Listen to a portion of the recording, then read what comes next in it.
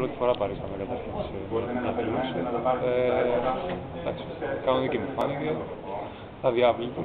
Από εκεί και πέρα θα δούμε στην πορεία πώς βγήκαν τα αποτελέσματα σε σχέση με τις ομάδες που θα παίξει να αλλάξεις μία με την άλλη για τη στοιχεία που υπάρχει. Πιστεύω έτσι όπως έκανε το πρόγραμμα το δικό μας, είμαστε σχετικά καλοί στην κλήρωση. Αλλά όλες οι ομάδες είναι δύσκολες σε πρωτάθλημα φέτος.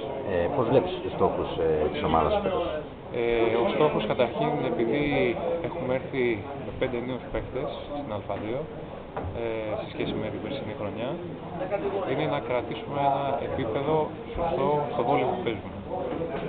Ουσιαστικά πρέπει να φτιάξουμε ένα καλό σύνολο. Αυτό θέλει λίγο δουλειά.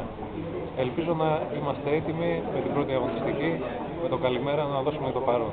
Όσον αφορά εσένα, θα παίξεις κεντρικός διαγώνιος; Θα παίξω κεντρικός για άλλη μια χρονιά και φέτος. Για άλλη μια χρονιά. Ναι, ναι, γιατί από ό,τι έχει φανεί, οι ακραίοι που έχουμε πάρει έχουν καλή υποδοχή, οπότε μπορώ να στηριχθώ και στον πρώτο χρόνο να βοηθήσω και από εκεί.